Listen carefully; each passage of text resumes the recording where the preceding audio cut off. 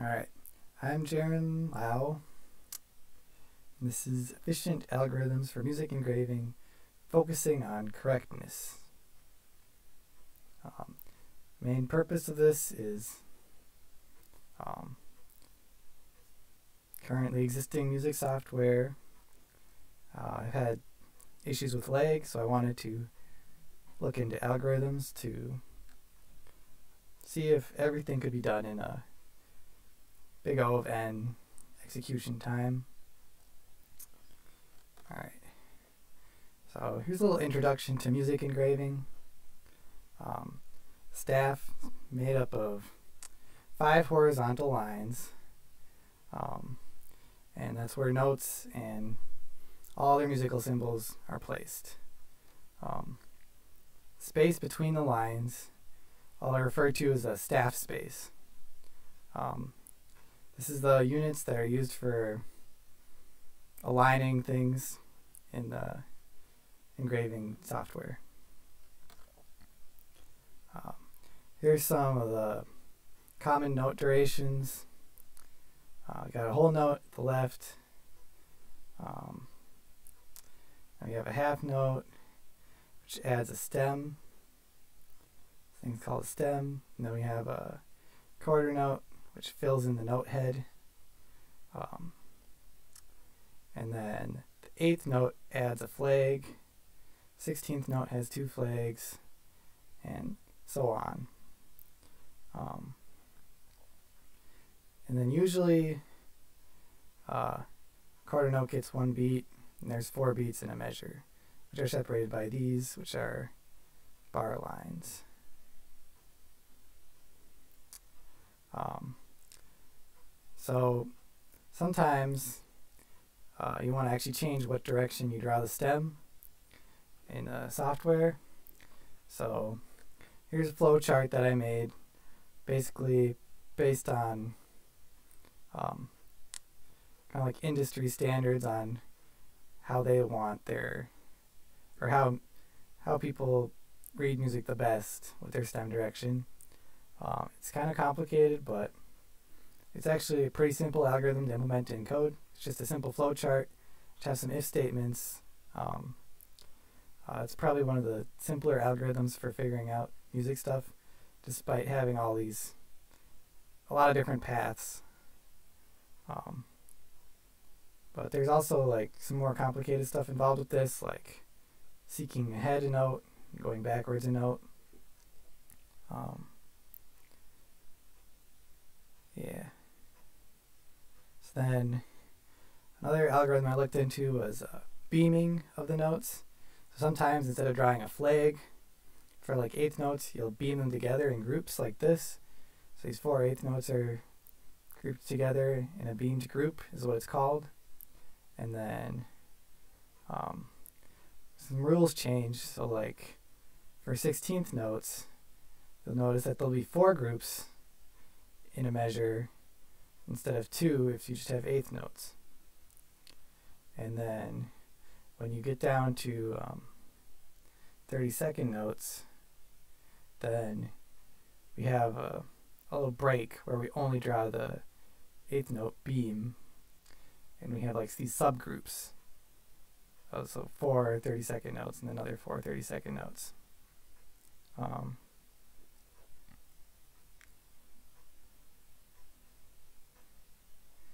so here's a little bit of the algorithm for um, figuring out how to do the beaming.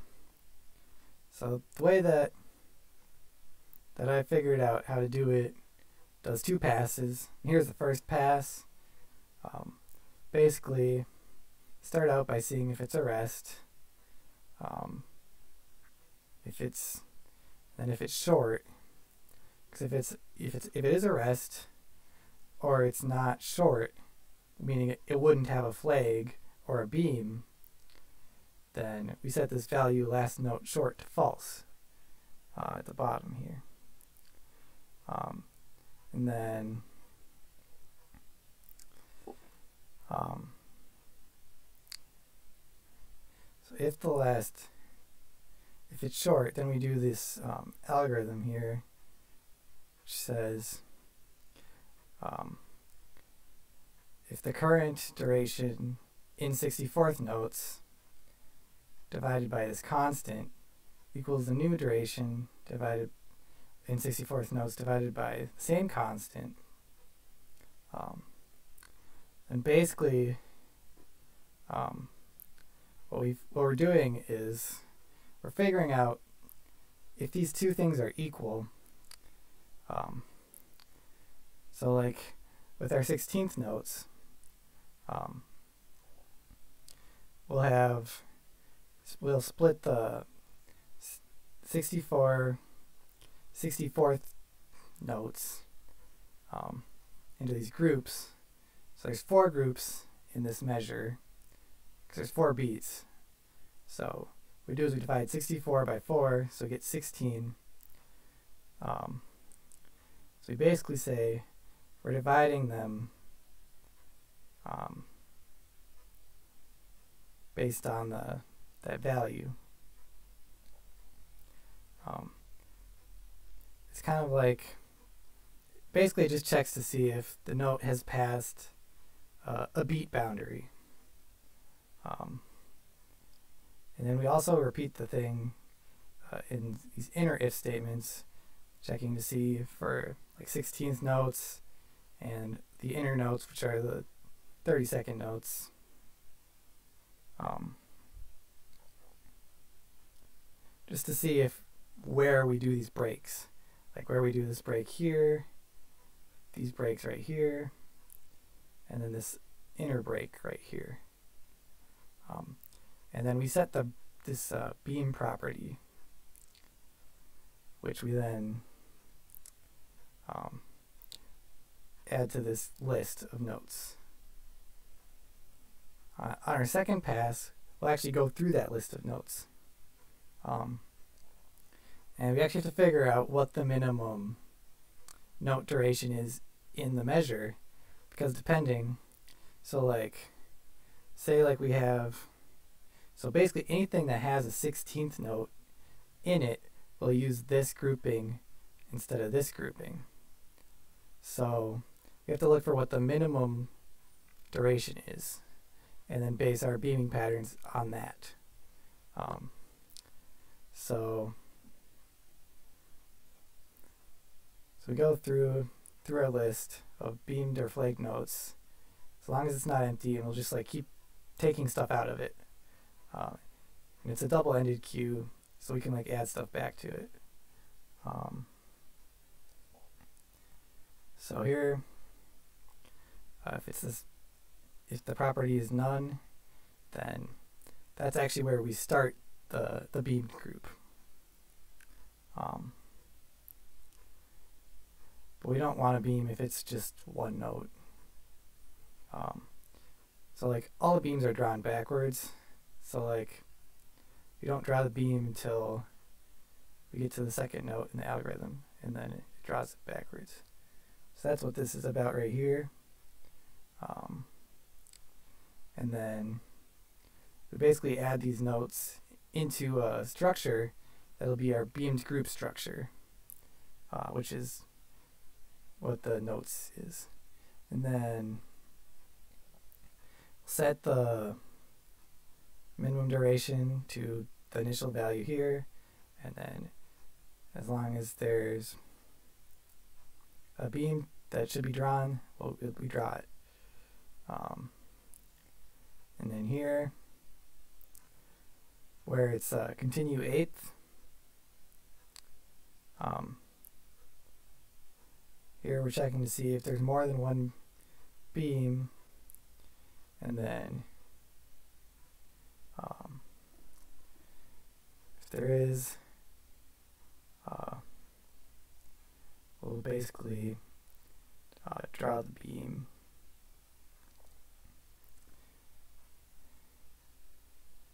um, or the second beam, or all the other beams, I guess. Um, and then here for the continue 16th, uh, basically, this is where, when there's three or more beams, that we like handle this break right here, this inner break. We do this by setting this value to true in our um, list of nodes in the beamed group. And then the continue inner doesn't obviously just keep trying all the beams too. Um, and then if the if it's a flag, then uh, we check to see if it's um,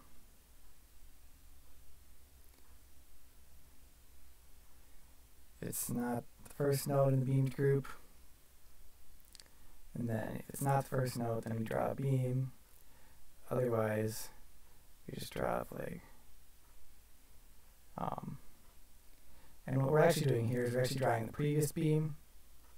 So like after you get to a, a break and there's just like a flag note, then we go, go back and draw the beam from the previous one instead of continuing the beam. And then, um, and then this one at the end uh, is basically just checking to see if um, there's another beam that needs to get drawn at the end of a measure, basically. Because once you get through this whole list, you'll be at the end of a measure, and then you might need to finish up drawing the last beam. Um, that wouldn't that would have normally been drawn the next go through the loop.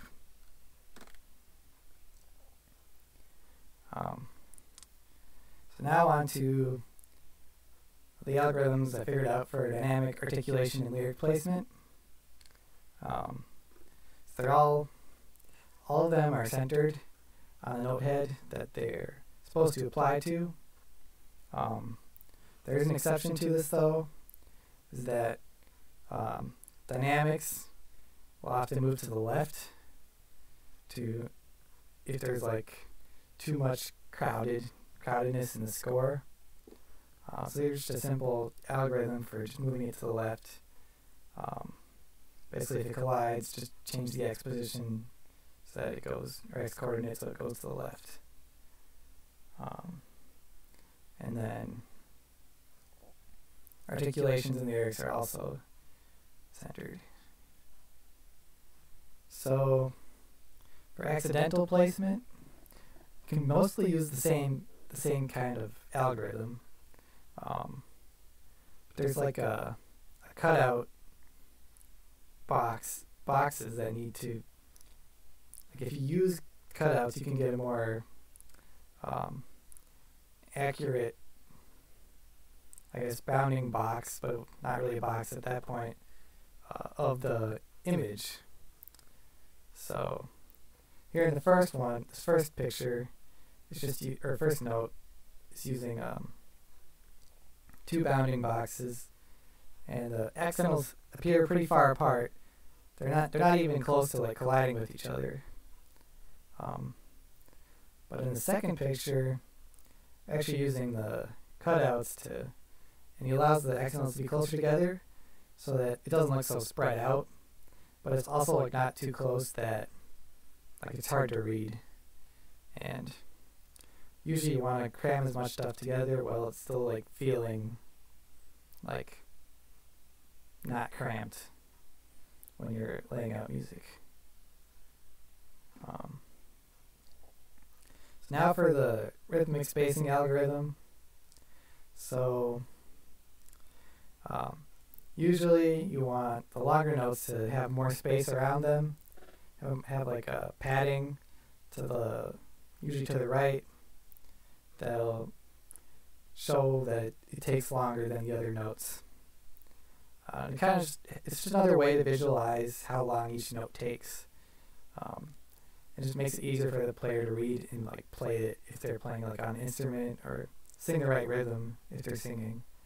Um, so then, so you'll notice like this eighth note and this eighth rest together take up as much space as this quarter note. This quarter note two of these quarter notes would take up as much space as this half note. Two of the half notes would take up as much space as this whole note. But as you can see, there's a ton of space after the whole note right here. So usually what the music engravers do is they'll have a compressed version of it where the whole note still takes up more space. I mean, this eighth note still takes up the same amount of space as it does in the top picture. But the quarter note just takes up a little bit more space than the eighth note, and the half note takes up a little bit more space than the quarter, and the whole note takes up a little more than the half. Um,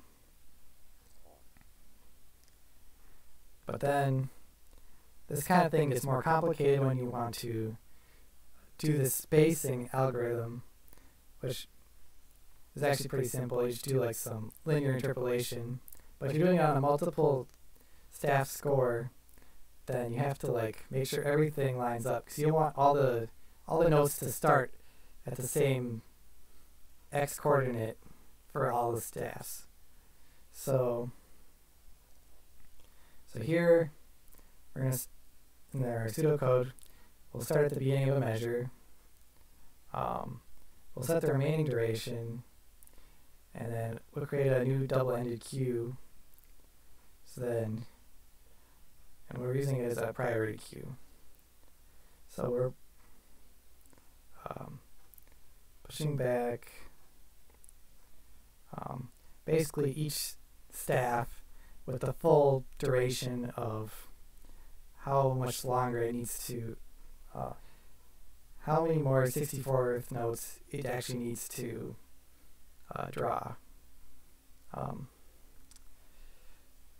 before the measure is complete. And then we're going to work to empty the queue right here. So we'll pop the next note to render. Um, we'll get the next note and then we'll check to see if this time value right here is less than all which is basically the time value for all of the all of the all of the staffs. Um, so that'll always be the um, it'll be like the the least or basically how much how much is left for all of the staffs combined. So it's like if one staff has done something, then that doesn't like um, it's not, it doesn't count yet until all the staffs have gotten that far, and then we change the all variable. So, so once we change it, once we have to change it, it's always going to be the next thing uh, in the time of this algorithm, the time of the measure. So the next time of the measure how much distance do we need to make, basically applying to all the different staffs. Um, so we'll actually add the space by the by creating a, a note duration based on the difference between this drawn note and the previously drawn note. Um, and then set the update this time this time variable before we add it back to the queue. And we'll actually do the rendering of the note, and then, um, and then if the time actually equals zero, then we won't insert it back into the priority queue, and that's how we get out of this while loop. So once we've gone through this whole thing, it'll actually be done drawing all the notes. And then, but we still need to add the space for the rest of the measure. Um, so that's what the second to last line does. And then at the very end, you need to render the bar line just to end the measure. Um, so here's kind of like a walkthrough of actually going through this one measure and basically adding all the notes. So once we've added both of these at full duration, we'll start by going through um, and grabbing stuff from our priority queue. So when we pop it, we'll get the staff one. And so this is a whole quarter note. So we'll subtract quarter note off the duration of the measure. And then and it will just basically add it back into the priority queue. So now the thing that has the most priority is going to be the thing that has the most uh, things left, which will be staff 2. So we'll go back and we'll draw, go on to staff 2. So we'll draw this note right here, and then that'll add, subtract an eighth, eighth note off of it, add it back to the priority queue, and then this one will still have the largest priority because it'll still have uh, 7 eighths of the measure left, while, while the staff one will only have 3 quarters left, so the amount left will still be more. So then we'll draw that one next, and then basically do the spacing that way. And then continue with the next beat. You'll notice that when we do that, this uh, beamed group of eighth notes actually ends up being wider than the first group because of the 16th notes right here. And that's pretty common for uh, for uh, a score of music. And then once we get to the end, we'll draw the bar line. And here's just a couple measures of using the algorithm showing that, yeah, the stuff that happens at the same time actually shows up horizontally at the same time. Uh, while not adding spacing where we don't need it, which is right here, where we need a lot more space for, because we have more glyphs right here that are being drawn than are being drawn right here. Um, so, conclusion, all these algorithms that I worked on developing, they operate um, in n time for n items and not more, which means that uh, music software that I've had trouble with lagging could be could use these algorithms possibly to be faster, uh, not not lag so much, or uh, what I'm planning on doing is actually creating my own music software using this code. That's all.